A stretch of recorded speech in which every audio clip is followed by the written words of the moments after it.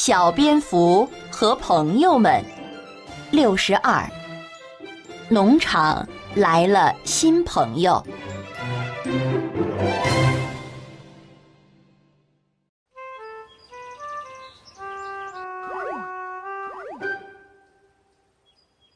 我被一个洞绊倒了，小奶牛说。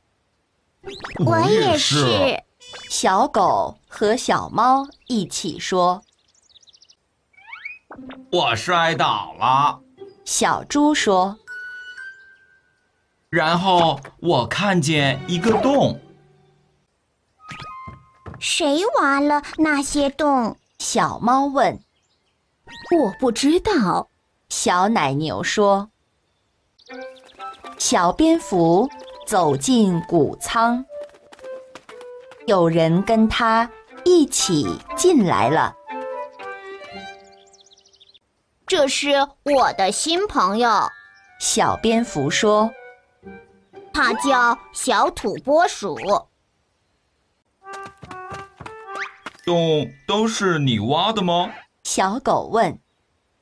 是的，小土拨鼠说：“我那时在寻找食物。”小猪的肚子咕咕叫了一声。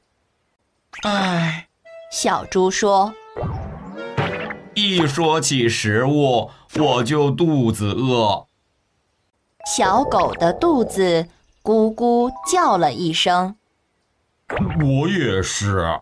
小狗说：“我找到了很多胡萝卜。”小土拨鼠说：“我去拿过来，然后我们一起大吃一顿吧。”